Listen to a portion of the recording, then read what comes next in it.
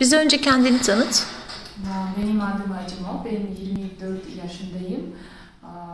Şimdi şu anda 70. okulda e, İngiliz dili ve edebiyatı öğretmeni olarak çalışıyorum.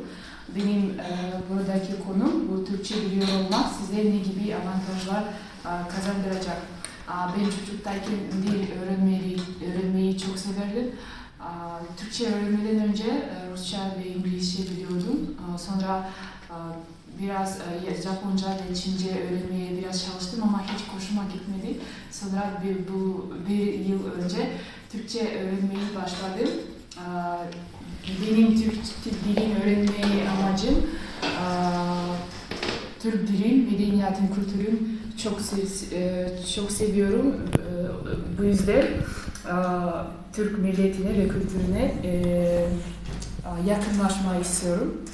Aa, Sonra e,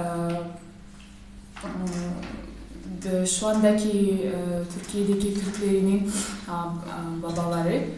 Buradaki topraklar, topraklardan oraya gitmiş ve uzun sürede onlar Tür- e, Arapça, Fars, Arapçadan, Farsçadan ve başka dillerden çok kelimeleri almışlar.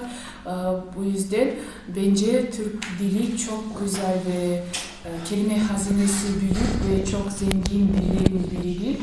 Bu yüzden ben bu dili öğrenmeye çalışıyorum ve çok e, mutluyum. E, Ve öyle düşünüyorum ki e, bu dili bilmek hayatımı güzelleştirir ve kolaylaştırır. Mesela eğer seyahat etmeyi. E, Bu kadar. Çok teşekkür ediyoruz Aycım'a. Evet. TB2 sınıfımız ve öğrencilerimiz. Ben de öğretmenleri Yeliz Kaya.